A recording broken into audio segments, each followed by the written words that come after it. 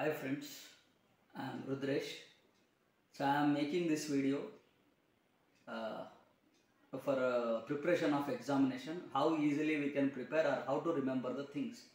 So I have chosen a, a taxation, a subject and then uh, the topic is assessment. So under section 2 subclass 8 of Income Tax Act 1961, the assessment is defined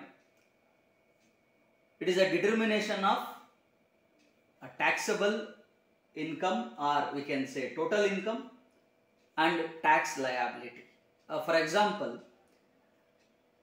so you have a, a total income for a, a assessment year of around you earned uh, 1 crore rupees. So I can say the tax slab is 30%.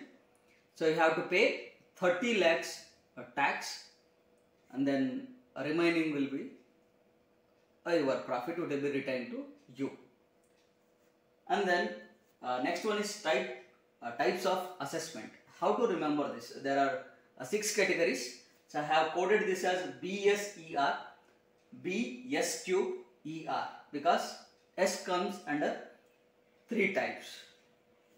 So that can be remembered as best student of the year. B is here, S is here, E and R we can consider here. So this can be decodified as S cube I will take first. One S is self-assessment, second S is summary assessment, a third S is scrutiny assessment.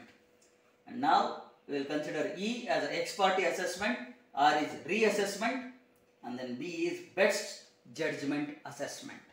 So if you remember best student of the year, so you can remember the six types. The brief explanation of the in the next slide.